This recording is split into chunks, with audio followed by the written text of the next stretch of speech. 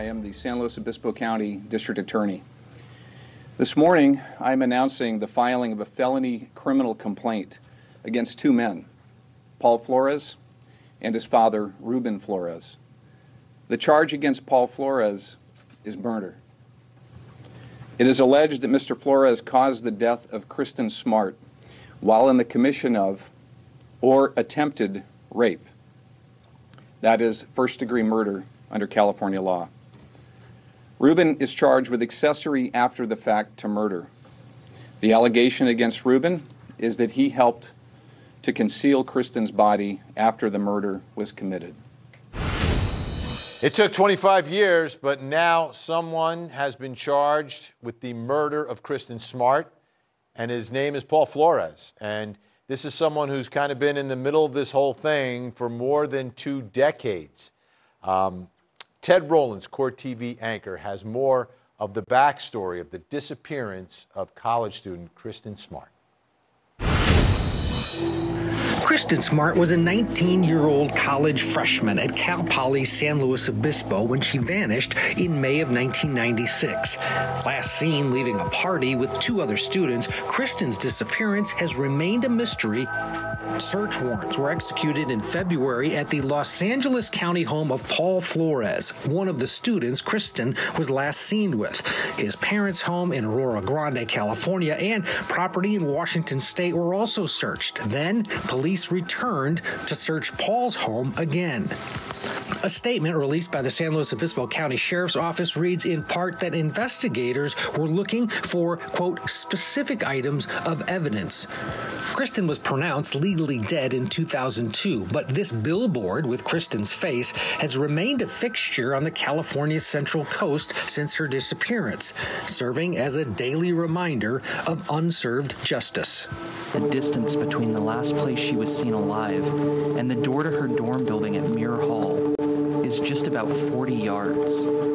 That's the voice of Chris Lambert on his podcast, Your Own Backyard. It's a deep dive into Kristin's disappearance. The podcast has renewed interest in the case and is putting pressure on authorities to solve it.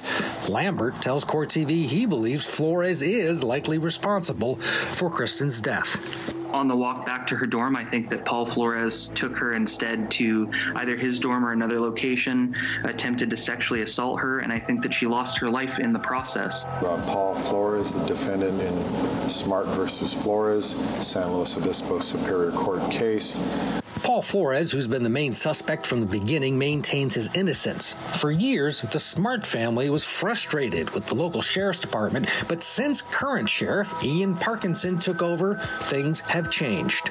Ian Parkinson, it's been different. He keeps a close line of communication with the family. They have a lot more faith in him, and he's promised that he's going to bring this to a close. Besides the podcast and the new sheriff, there's also an army of Facebook supporters keeping Kristin's story alive.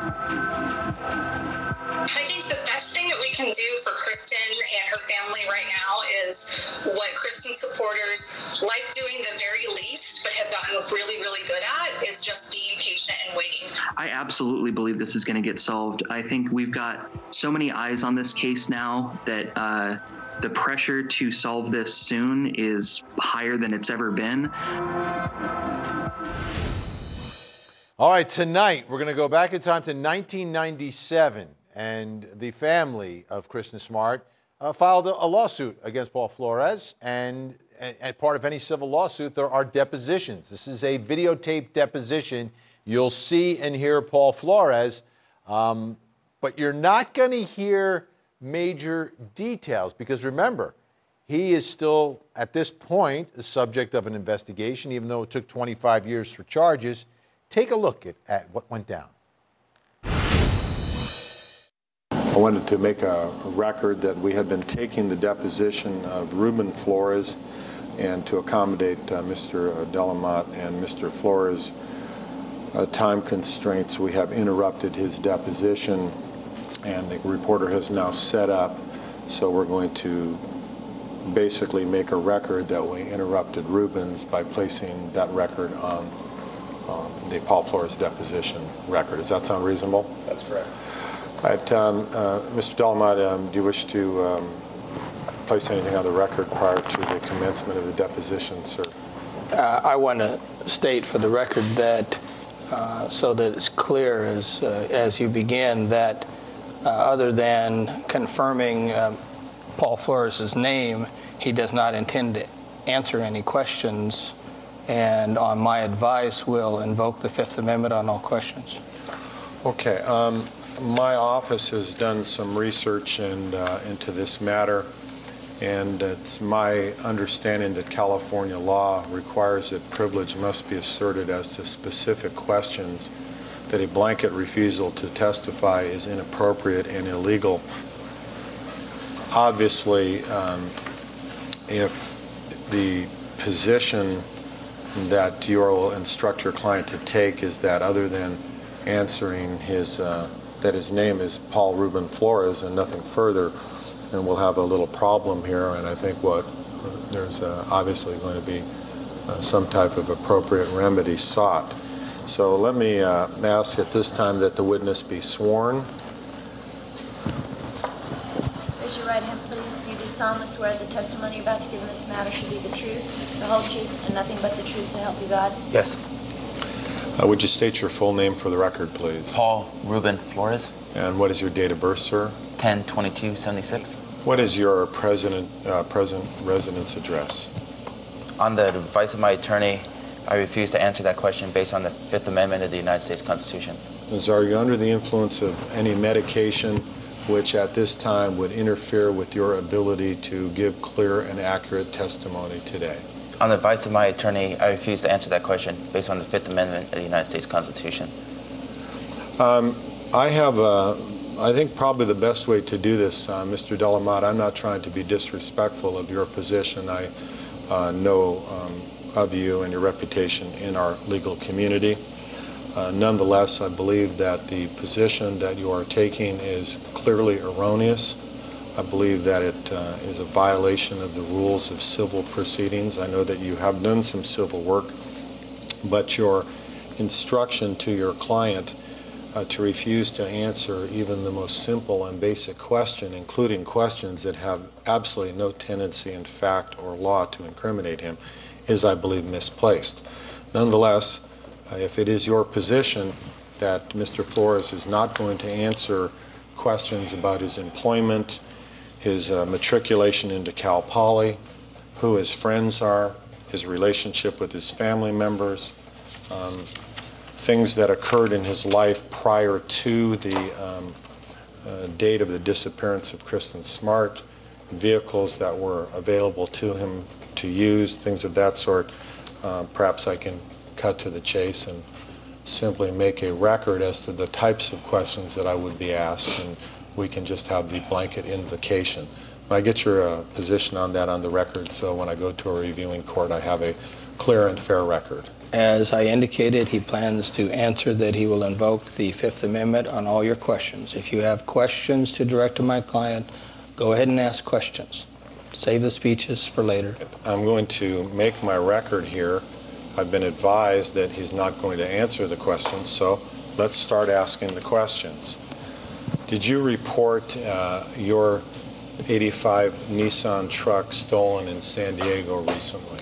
On the advice of my attorney, I refuse to answer that question based on the Fifth Amendment of the United States Constitution. In May of 96, were you a student at Cal Poly? On the advice of my attorney, I refuse to answer that question based on the Fifth Amendment of the United States Constitution. Uh, please provide me with the uh, employment positions that you have held since uh, you started high school.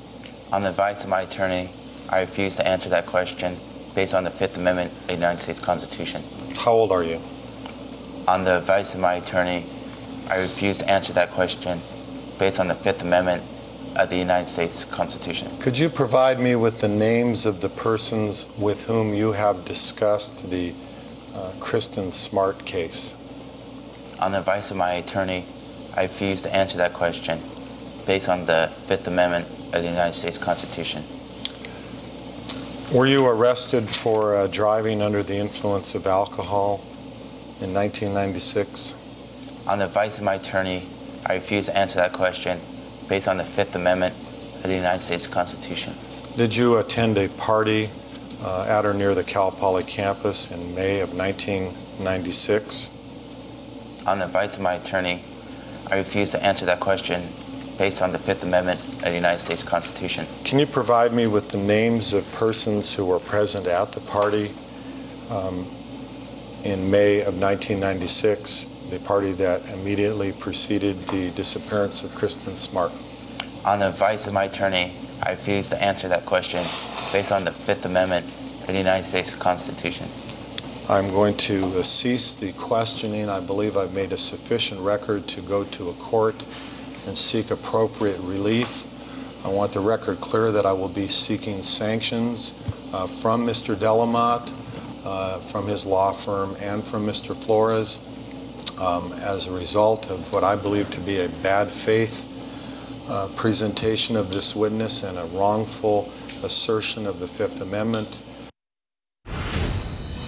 That was 1997. Now in 2021, he's been charged with murder. And of course, we're tracking that case right here on Court TV.